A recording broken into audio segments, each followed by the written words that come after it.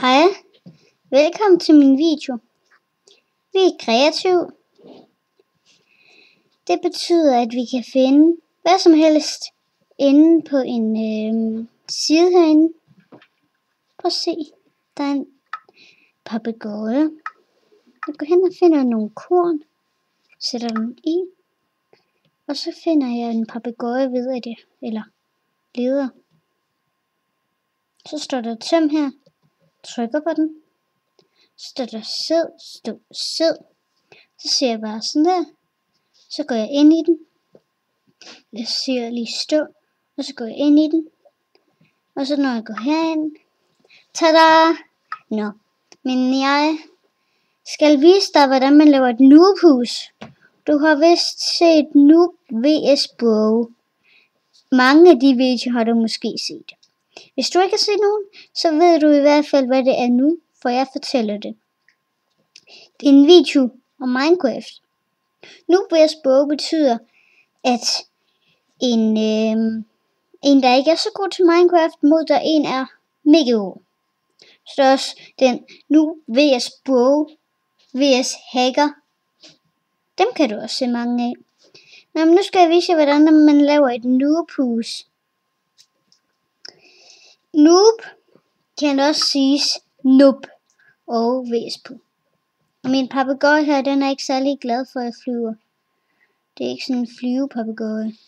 Sid nu ned på mig, papegøje. Sid for silen. Nå, men den er sikkert stukket af. Men mindre den sidder der. Jeg skal lige lave det i. Lidt jord. Ja, så fik jeg den. Her laver jeg nu bedst på.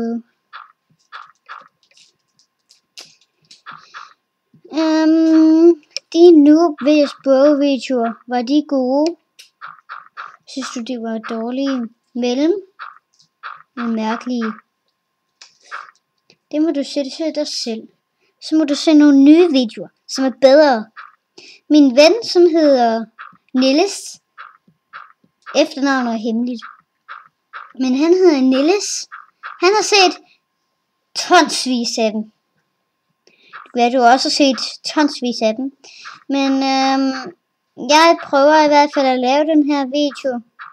For lidt efter lidt, så bliver det Nilles, der skal diktere. Og bliver det ham, så skal han diktere, eller lave noget, eller sige noget, som det hedder. Den her video.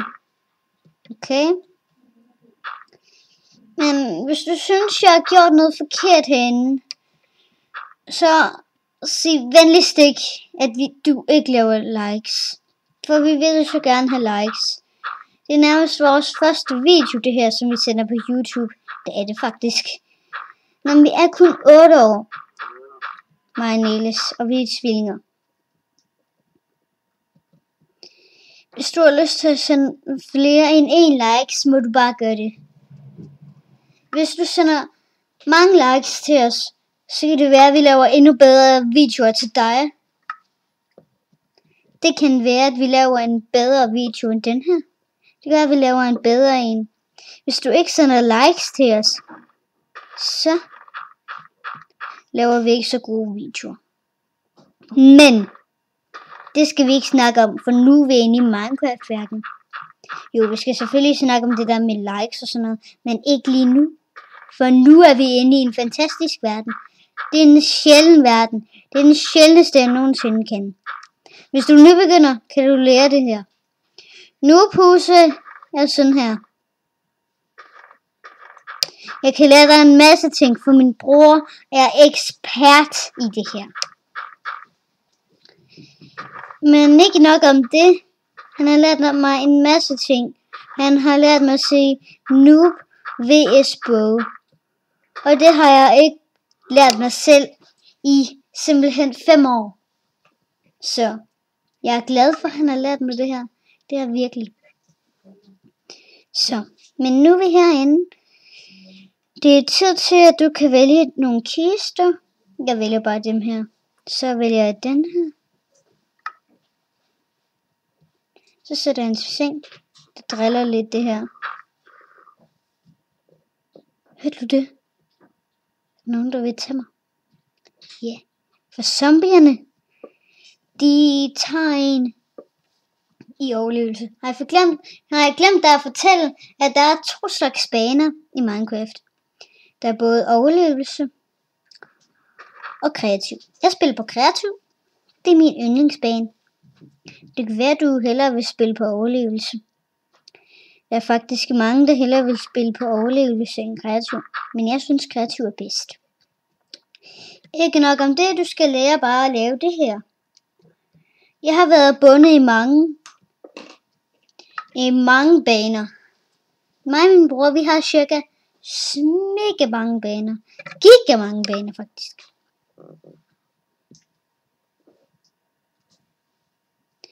Åh, sødt mit yndlingsbillede. Det der, det er mit yndlingsbillede. Jeg keder mig. Ikke bare for at pynte mit hus, men også alle mulige andre ting.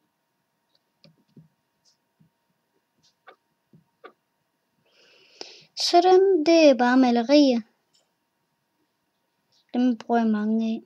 Nå, men det her det er mit noobhus. Nu skal jeg lære, hvordan man laver Prohus. Man går ind på den her, som sagt, så tager man den her diamond block, putter ind. Det er helt anderledes end det her. For nu laver jeg det en anden sted. Herinde i den her verden. Hvis du får lyst til at lave dyr eller sådan noget, så går du ind på natur. Åh, oh, se det der. Det er en panda. Er den ikke sød? Er Nick. Jeg hader det simpelthen alt for meget papegøje. Gider mig ikke. Er det ikke en sød panda? Synes du ikke det? Åh, oh, prøv at se, der er en mere papegøje. Er den ikke sød? Vi må lade dem hellere være i fred. Papegøje. Hvis du spørger dig selv, kan man have to papegøjer på skulderen? Ja, det kan man godt. For det er kun to papegøjer, man kan have. Så, nu er vi landet hernede. Det er den diamond block. Som du ser her, dem finder man derinde. Så.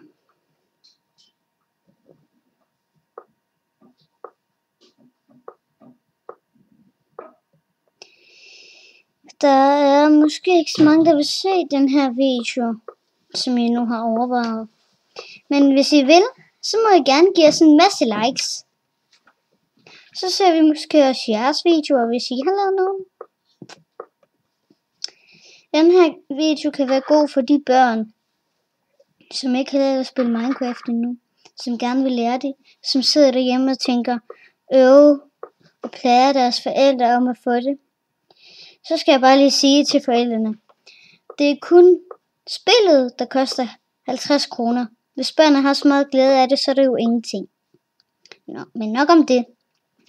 Jeg kommer til at snakke, snakke om alting.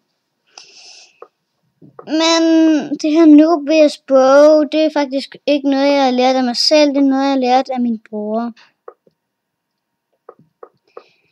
Han hedder Niels, som jeg måske har fortalt jer. Men der er også musik til det der Nubias bog, og Nubias bog, det er ikke det her video, det er ikke det her video, det er noget af videoen, det handler om Nubias bog, men det er bare ikke det, jeg vil fortælle jer. Øhm, jeg synes, det der Nubias bog, det skulle til at se lidt mere. Nok fordi I kommer for sent i skole, fordi I sætter alt for meget. Eller fordi nogen øhm, gerne vil se det, og ikke må. Så skal jeg lige fortælle, at nu bliver bog, det er sindssygt godt lavet. Der hvor han står og hacker, hvor han lige har lavet et eller andet, hvor han lavede til te eller sådan noget. Men nu er vi inde i det her. Det er nok her, du helst vil bo. Men den lavede jeg også dengang jeg var nybegynder. Den her video er god, fordi de kan hjælpe en på rette vej. Hvis man ikke ved, hvad Minecraft er. hvis man ikke ved, hvordan man spiller, hvis man ikke ved, hvad det går ud på, så vil jeg bare lige sige, Minecraft går ud på at have det sjovt. Gå ud på at lege, gå ud på at bygge, gå ud på venskab. Alting i Minecraft, det er simpelthen noget, der er skabt øh, bare for børn, de skulle have det sjovt. Teenager, unge. Men verden handler ikke bare om Minecraft. Det handler om det, man gerne vil. Det, man gerne vil, og hvem man er. Så. De her Nubias både kan I måske bygge derhjemme, eller måske bedre til at bygge. Måske bedre til at bygge. Endnu bedre end det her. Endnu bedre meget frustrerende og konfekt meget mere hjemmeagtige, ligesom det. Eller faktisk bare mere inspirerende ting. Når man selv har lyst.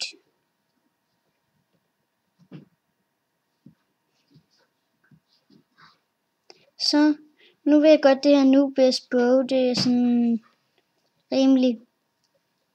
Men jeg vil altså gerne prøve at hacke. Må jeg det? Okay. Jeg kan sådan her.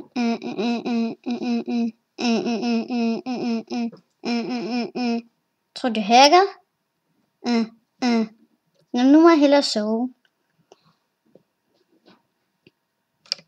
Jeg står op. Jeg er færdig. Ah. Hvad? Hvorfor herude? Hvorfor går jeg ikke ud igennem døren? Jamen, jeg er ligeglad. Der er min papegøje. Jeg tror, den skal hedde Tulle. Kom så, Tulle. Så du på min skulder.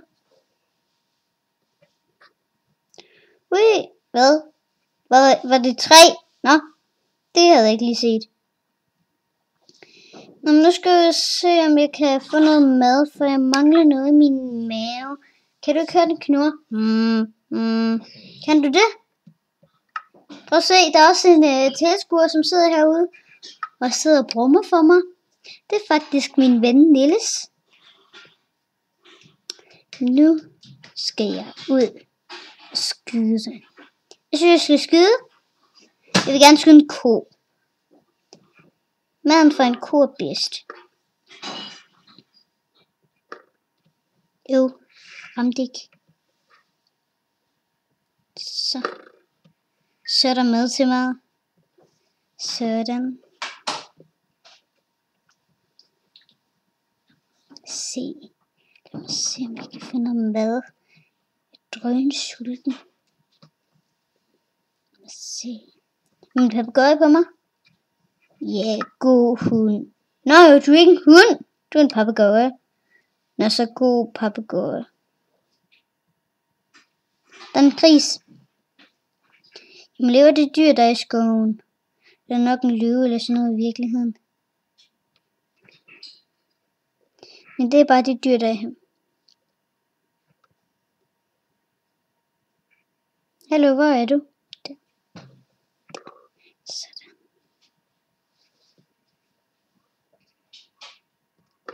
Død.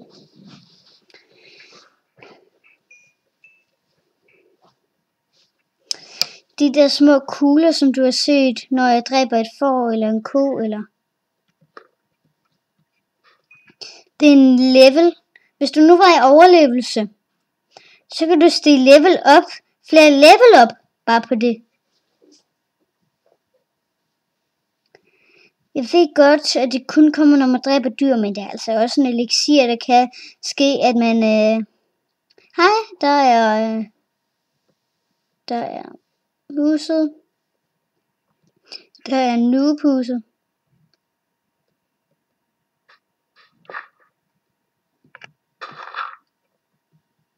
Det er det altså bare lavet af jord. Så det er det det. Hey, hvorfor stikker den der hele tiden ind? Mm, nu skal jeg tage ud. Jeg skal lige se, om jeg kan finde nogle dyr, jeg er drønsulten. Papegøjer ville smage godt. Kan jeg vide, hvad man, hvad man får for en papegøje, hvis jeg dræber den? Men for garanteret fjer. Lad os se, om vi kan finde en papegøje. Skal vi se, om vi kan finde det? Ej, jeg har fået rundt i en vildkreds. Eller rundkreds. Jeg bytter næsten altid om på ordene. Nu er vi snart ved at være færdige med videoen. Men vi skal bare lige se, om vi kan finde den her enkle papegøje. Så vil videoen være færdig. Men åh, oh, det skulle jeg altså ikke sige nu. Der er gang til mit hus. Ja, der er mit hus. Der er nubus. Men, hey, man kan da. Hey, der er en papegøje.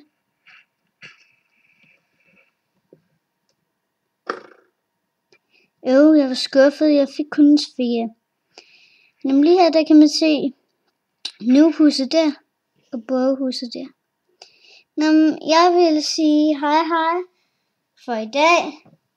Hej hej!